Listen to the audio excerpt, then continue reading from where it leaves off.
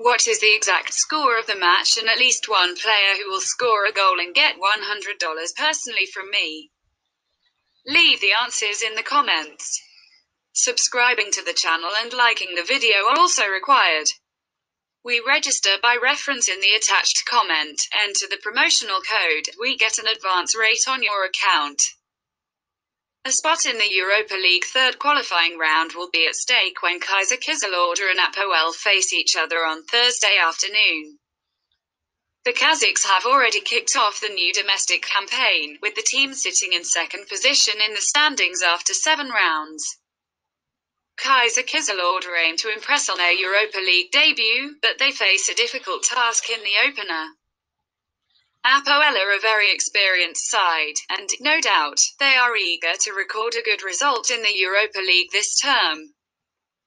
The Cypriots outplayed Gjilani in the first qualifying round, and seeing that Thursday's clash will be played behind closed doors, a away win should be considered.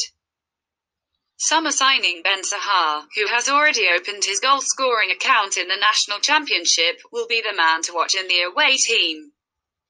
Anyhow, we believe that the favourites are going to prove their worth on the prediction. 0 to 2.